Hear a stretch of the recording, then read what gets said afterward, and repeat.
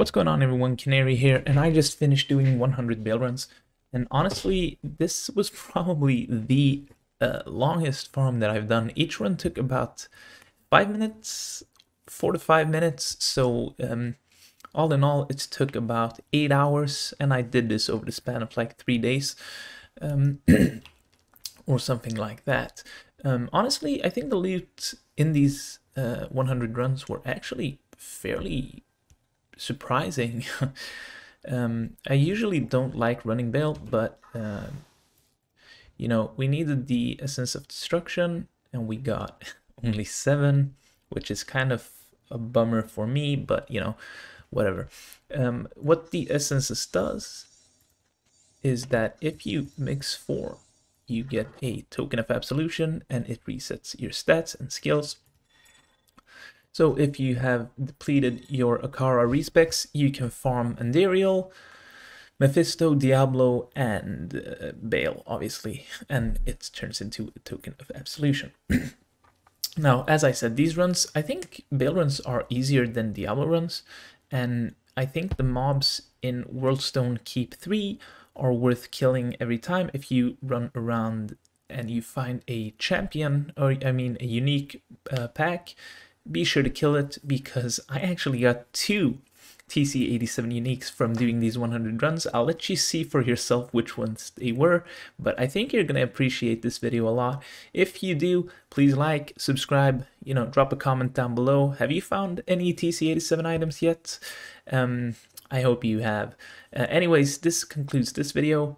Have fun watching, and I'll see you in the next one. On run 6, we kill Baal, and he drops the first noteworthy items. It's a Gimmershred and also a unique amulet. Now, will this unique amulet be a Maras? No, it won't.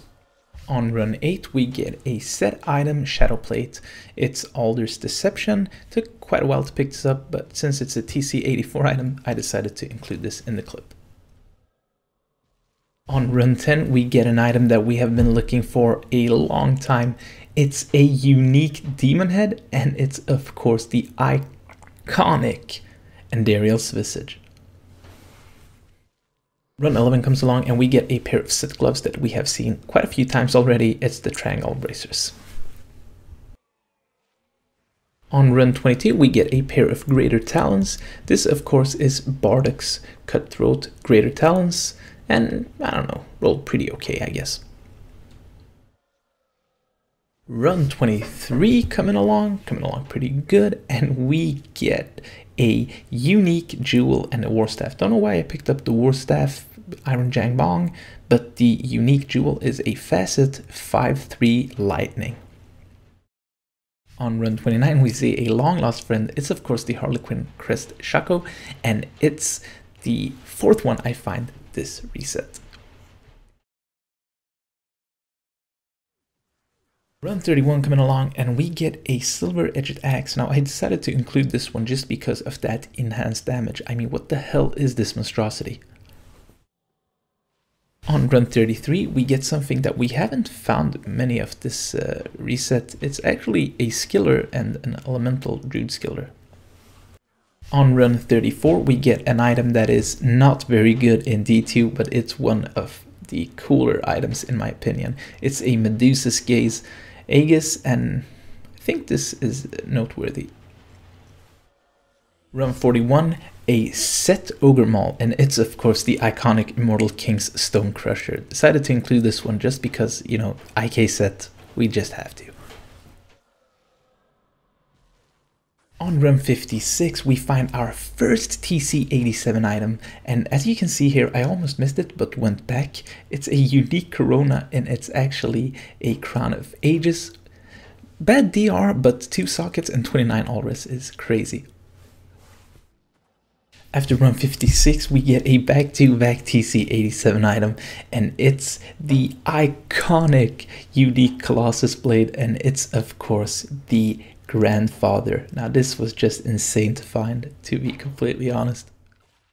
Just one run after the grandfather, we get a unique Spired Helm. Now I was hoping for Nightwing's Veil, but unfortunately this was a Veil of Steel. The streak continues on on run 65. It's the unique Vampire Bone Gloves, and this are the iconic Dracul's Grasp with a pretty good roll. On run 70, we get our second unique ring drop from Bill, and this one I was really, really hoping this would be a Stone of Jordan, but as you know, it was not a Stone of Jordan. Just three runs after the bogged Stone of Jordan drops, we get a unique amulet once again. Now, will this be the Mara's Kaleidoscope? I was, no, it's not. We continue trucking on, it's run 77 and a unique serpent skin armor drops. This one unfortunately just rolled two more all rest than the one I have and I can't bother socking it again. On run 78 we get a very nice item, a unique Balrog skin and this is Arkaine's Valor with two all skills, 165 ED. You know, this is just a really nice item run 82 and we get a pretty cool item that I decided to include just because I really like the, you know, how it looks. It's a lightsaber phase blade. On run 85 he tips over and we get our last unique amulet for these 100 runs. Is this a Mara's Kaleidoscope? It's a, oh, High Lord's Wrath, hello.